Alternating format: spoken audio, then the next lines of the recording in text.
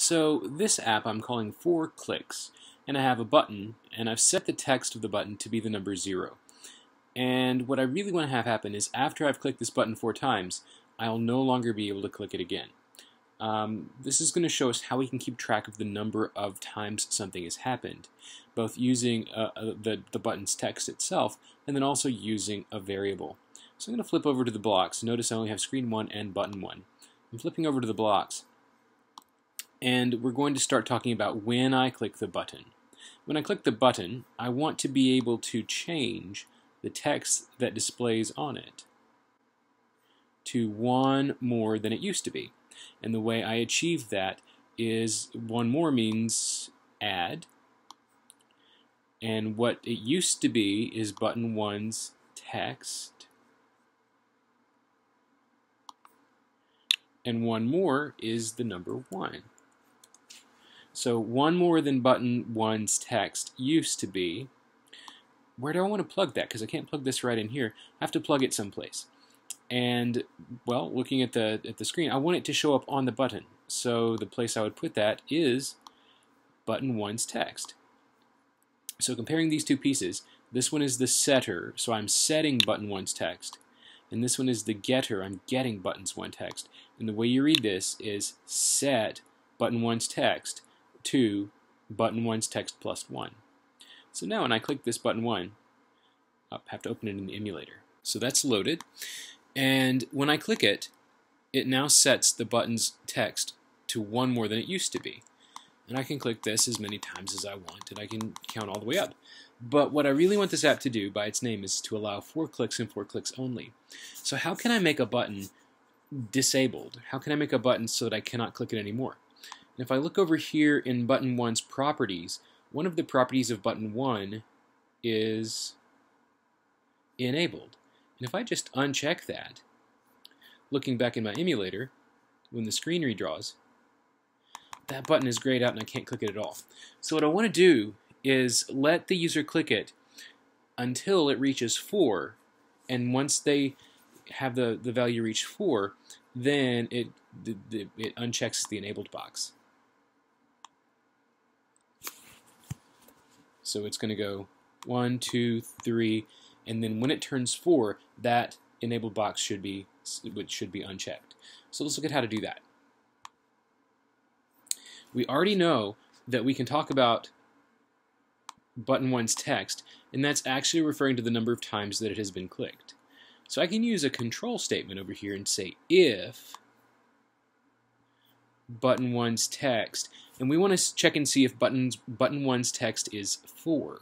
And so checking to see if it's equal to something is a math. And I want to see if button 1's text is equal to 4. I never can get a 4 when I want one. There it is. If button 1's text is equal to 4, then we want to disable it. So how do we do that? Button 1's there it is. Set button 1 enabled. So in the designer, it's a checkbox. And the way we do checkboxes in code is true or false. So true means it's checked, and false means it's not checked. So we can type F-A-L and find false on the keyboard, or you can come over to logic and find a false block. Either way, when you plug that thing in, now our app will behave the way we expect it to. And now, one, two, three, and then when I click it again, let's look at our blocks and have our blocks on the screen at the same time. When I click it again, button 1's text is currently 3. When I click it, it's going to say take that 3, add 1 to it, and put it back, making the button read 4. And then it's going to say if the button reads 4, then set button 1 to not enabled. There's our 4, and now the button only goes up to 4. So what if I want to do the same thing, except I don't want to have the number 4 visibly displayed on the button? Well, then I need some place other than the button's text to keep count. And that's where variables come in. Variables allow you to remember things and not display them on the screen.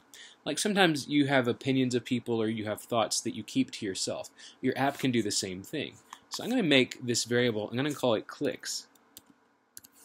And just like I set the, the button to zero when I started out, I can set the variable clicks to 0 right there. Now, um, I'm going to change the buttons so that when it starts out it'll say click me.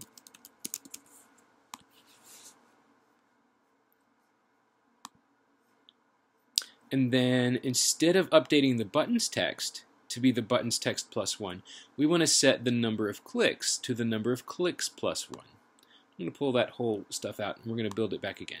So instead of saying button1.text equal button text plus 1, we want to talk about this variable.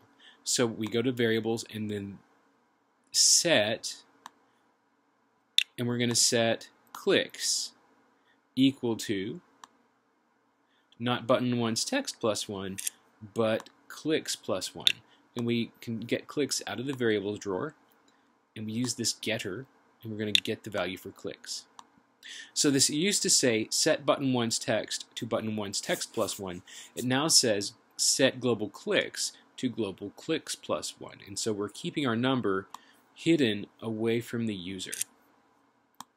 Now this if block says if button one's text equal 4, we're no longer storing our count in button one's text, we're storing it in the click variable. So we use a getter, and we say if clicks is equal to 4, then set the button to false. So one more go at this, and we'll see what happens.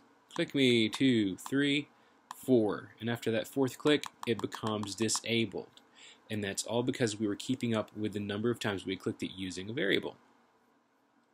Variables are pretty easy. You can make as many of them as you want as long as they have different names. You plug in a value to start with here, and then you would use your getter and your setter. And your getter lets you get any variable that you've made. Your setter lets you assign a value to any variable that you've made. And with these two things, plus initializing it, which means setting it up for the first time, you can make as many variables as you want. Um, in an older version of App Inventor, there was a def block, DEF, which was short for define. That has been replaced by this initialize global. So if you see any def blocks in a previous one, just think about initialize global. If you have any questions about this, just ask them in the forum.